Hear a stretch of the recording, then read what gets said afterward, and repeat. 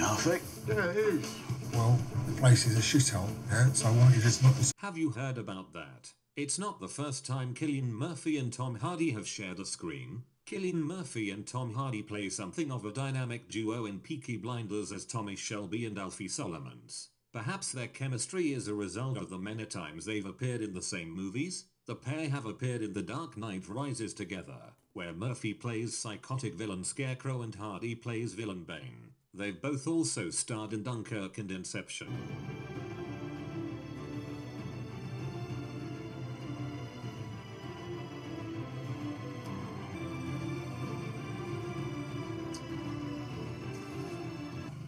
Is he down? Keep coming. On you, Rob. Our hat must belong to another, eh, boy? To the dollar. And the Nolan Bank of Have you heard about that Cillian Murphy is an executive producer of Peaky Blinders? He's played the show's protagonist Tommy Shelby from its inception. But Murphy took on more duties from season 5 onwards, when he became an executive producer too. This meant that after long days portraying the ruthless Brummie gang boss, he took himself off to the editing suites to analyze the day's work, amongst other more technical tasks. Granted, Tom.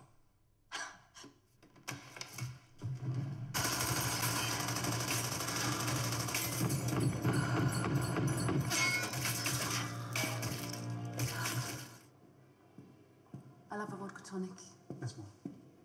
Have you heard about that Lizzie was only supposed to play a minor part in Peaky Blinders? The character of Lizzie Shelby, Ney Stark, has been a core part of Tommy's storyline for season 6 so far, as well as in previous seasons. But that wasn't always the plan she was only supposed to play a minor part, until the producers witnessed Natasha O'Keeffe's audition for the role. The show's creator Steven Knight said that, Natasha impressed them so much with her scene with Cillian Murphy that they signed her up for more episodes. Babies will make everybody okay. Babies stop everything.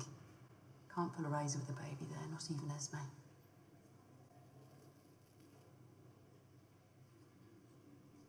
Just come. See what happens. Tommy, you've never even seen Arthur's kid. Huh. Beautiful vase. My grandfather stole it from a brothel in Cairo. Egyptian. 18th dynasty, I think. Have you heard about that Sophie Rundle returned to filming four weeks after giving birth? Actress Sophie Rundle, who plays Tommy's sister Ada in the show, returned to filming for the show's sixth and final series just four weeks after giving birth to her son. In a candid Instagram post that she shared in May 2021 a month after she became a mum over the Easter weekend the actress revealed that she was sleep deprived and slightly delirious, as she changed her son's napping between takes. A genetic thing. He puts his daughter's welfare before business. He's gone up a mountain looking for a miracle.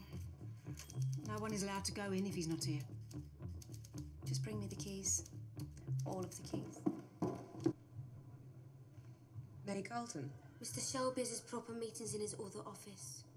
Have you heard about that there's a real-life Peaky Blinders romance? A real-life romance. Tom Hardy, who plays Alfie Solomons, is married to Charlotte Riley, who played May Carleton in the show. Fans will remember Riley's character from season 2 of the show as a wealthy widow who owns racehorses, before she developed a romantic relationship with Tommy. She later returned in season 4. Tom Hardy's character Alfie Solomons also featured in seasons 2 and 4 of the show, but they didn't share any scenes together. Jesus to come into your life. Well, the place is a shithole, yeah, so Fucking hell, look at that. yeah, fuck off.